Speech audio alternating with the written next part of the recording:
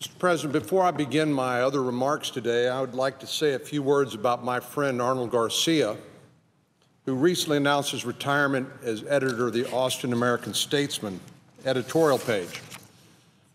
During a time of political polarization in Washington and in Austin and other cities across the country, Arnold enjoys the respect and admiration of Republicans and Democrats alike. He's a veteran of the United States Army and the Texas National Guard. And he spent 40 years at the Austin American Statesman, serving as head of the editorial page for more than two decades.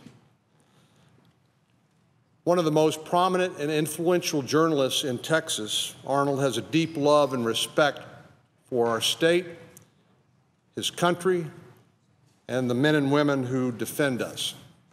He is, by all accounts, a fair minded reporter, which is saying something if you're uh, in our business, because we know that there's a natural adversarial relationship between the press and elected officials.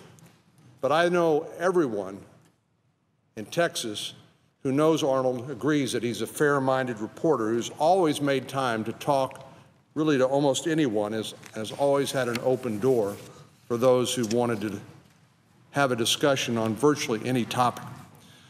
So I just wanted to say a few words today about Arnold Gar- Garcia. Arnold, I salute your pioneering accomplishments. I thank you for all of these years of your friendship, and I wish you and your family nothing but the best in this next chapter of your life.